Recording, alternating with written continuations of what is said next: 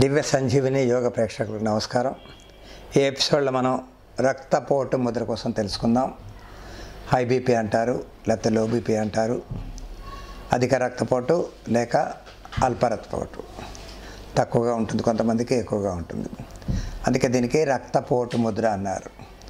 రక్తపోటు హై బీపీని వెంటనే కంట్రోల్ చేయడానికి చేసే ముద్ర. కానీ ఒక చిన్న సూచన రక్తపోటు ఉన్నవాళ్ళు అంటే హై బీపీ ఉన్నవాళ్ళు మందులు మానేయవద్దు డాక్టర్ సలహా ప్రకారం మీరు సాధన చేసి కంట్రోల్ చేసుకొని నియంత్రణలో ఉంచుకుంటే వాళ్ళు మిమ్మల్ని టెస్ట్ చేసిన తర్వాత మందుల డోసేజ్ తగ్గిస్తే సంతోషం. తగ్గిస్తారు కూడా. మీ ప్రయత్నం మీద ఉంటుంది. కానీ మనంతట మనం మందులు మానేయకూడదు. అది తప్పకుండా చేయవలసిన సూచన. మరొకటి హై బీపీ రక్తపోటు హైపర్ టెన్షన్ అంటారు దాన్ని. ఆ హై బీపీ వచ్చినప్పుడు సామాన్యంగా ఆ బీపీ వచ్చిన పేషెంట్కి ఏం జరుగుతుంది?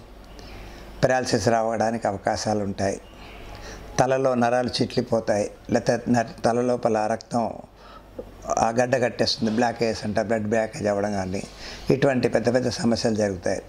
దానికి మళ్ళీ ఆ పేషెంట్ని ట్రీట్ చేయడానికి చాలా నెలలు నెలలు పట్టడం లక్షల రూపాయలు ఖర్చు పెట్టడం జరుగుతుంది.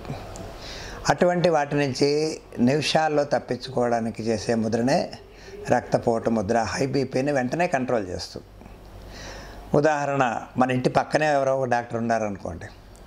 మనం వాళ్ళ దాకా వెళ్ళాలంటే మనకి హై బీపీ వచ్చి హైపర్ టెన్షన్ వచ్చినప్పుడు తెలుస్తుంది ఆ సిమ్టమ్స్ కళ్ళు తిరగడం కానీ ఇలా మొత్తం తిరుగుతున్నట్టు ఉండడం లేకపోతే ఓమిటింగ్ వచ్చినట్టు అవ్వడం జరుగుతాయి.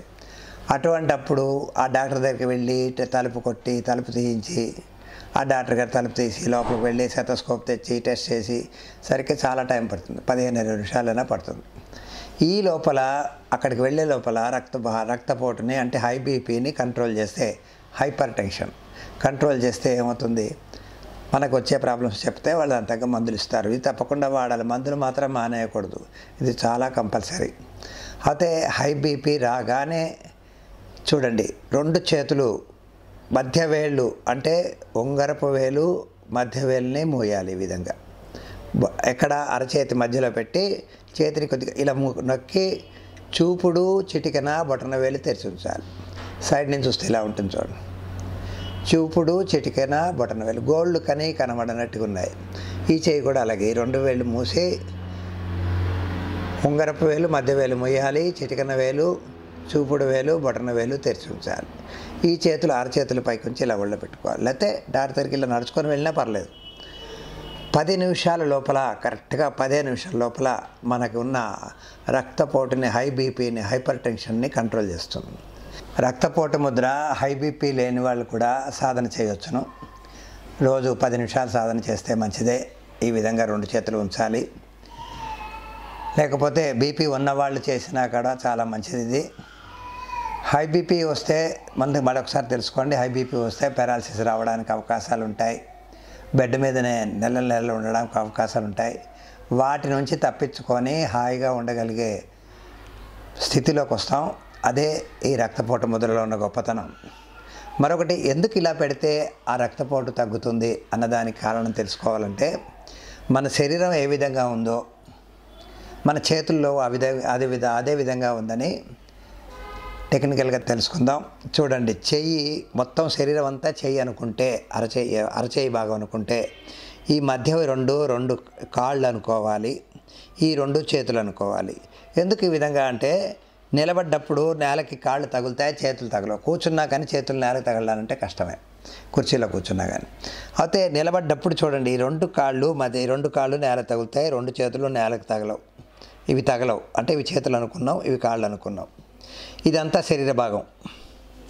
ఇది కంఠ భాగం అనుకోండి ఇది ఇది తల భాగం. ఇక్కడ మనకి హై బీపీ రావడానికి శరీరంలో ఏ భాగంలో వస్తుంది? కాళ్ళలో రాదు. చేతుల్లో రాదు. మెడ నుంచి రాదు తల నుంచి రాదు. హృదయం దగ్గరనే వస్తుంది. రక్తం ఇక్కడ సరిగ్గా వెళ్ళక ఈ భాగం నుంచి వస్తుంది. ఇక్కడ ఈ శరీర భాగం ఇదంటే మొత్తం కడుపు కానీ ఛాతి భాగం అంతా ఇది అనుకుంటే ఇక్కడ మధ్య భాగం నుంచి ప్రాబ్లం వస్తుంది. ఈ రెండు వేళ్ళని ఈ విధంగా మూసినప్పుడు అక్కడ ప్రెషర్ పడి దీనికి సంబంధించిన హృదయం దగ్గర ఉన్న సమస్య లైన్ దాని మీద ప్రెషర్ పడి రక్తాన్ని ప్రెషర్ని ఆ రక్తం కొట్టి రక్తనాళాల మీద పనిచేసి అది ఆ రక్తపోటుని కంట్రోల్ చేయగలుగుతుంది కొద్దిసేపు. అంత మంచి సిస్టమ్ ఇది. రక్తపోటు ముద్రకి ఈ విధంగా ఉంచాలి. గోల్డ్ కనీ కనబడినట్టు ఉంటాయి మరొకసారి చూడండి. అరచేతులు పైకి ఉంటాయి చేతుల విధంగా నడుము తల తిన్నగా ఉంటుంది. కళ్ళు మూసుకొని చూస్తే చేస్తే వేరంగా తగ్గుతుంది కంట్రోల్ చేస్తుంది అదే టీవీ చూస్తున్నప్పుడు మాట్లాడుతూ చేశారంటే సమయం దానికి నాలుగింతల సమయం పడుతుంది. అంటే రెండు రోజుల్లో కంట్రోల్ అవ్వాల్సింది లేకపోతే రెండు నిమిషాల్లో కంట్రోల్ అవ్వాల్సింది. వారం రోజులు పదిహేను రోజులు నెల రోజులు కూడా పట్టడానికి అవకాశాలు ఉంటాయి. ఈ విధంగా ఉంచాలి. మరొకసారి చూసుకోండి. ఇలా ఉంటుంది చేతులు. దీంట్లో చూపుడు వేలు తెరిచింది కనుక వాయువు చక్కగా తీసుకోగలుగుతాం. వాయువు చక్కగా తీసుకున్నప్పుడు చిటికిన వేలు తెరిచింది కనుక ఇది జలతత్వం. రక్ జల నీరు జలతత్వానికి సంబంధించిన లిక్విడ్ సిస్టంగా పనికి వస్తుంది కనుక నీ శరీరంలో రక్త ప్రసరణ జలం అంటే లిక్విడ్ లాంటిది కనుక చక్కగా ప్రవేశం స్ట్రైట్గా పెట్టినందుకు. అదే ఇది ఫైర్ ఎనర్జీ అగ్నితత్వం అంటారు. ఇది దీనివల్ల వేడి పుడుతుంది కనుకనే ప్రవహించడానికి అవకాశం ఉంటుంది. వేడి వలన వాయువు సంచలనం వలన నీరు అంటే రక్తం వలన ఈ మూడు చక్కగా పనిచేస్తాయి. ఇది మధ్యవేలు శూన్యం ఖాళీ స్థలాన్ని తగ్గించేసాం శూన్యం ఈథర్ అంటారు. ఆకాశతత్వాన్ని తగ్గించాం. పృథ్వీతత్వాన్ని తగ్గించాం. పృథ్వీతత్వాన్ని తగ్గించగానే సాలిడ్ ఐటమ్స్ అన్నీ కంట్రోల్లో ఉంటాయి కనుక ఈ రక్తపోటు ముద్రలో ఆ విధంగా హెల్ప్ చేస్తుంది. ఇది రక్తపోటు ముద్ర.